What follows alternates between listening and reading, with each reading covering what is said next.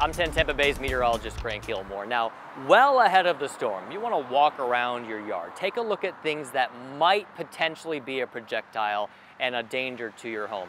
The first place you want to start is with your trees. Have you had them trimmed recently, well, now is the time to do it. The best thing to do is hire a licensed arborist. They're gonna come in and they're gonna trim out a lot of the dead limbs, dead branches in your tree. But they're also going to help make it more wind resistant. That way, if the hurricane does come, then you're less likely to have those tree limbs and branches falling on your home, potentially coming through your window and hurting you or your property.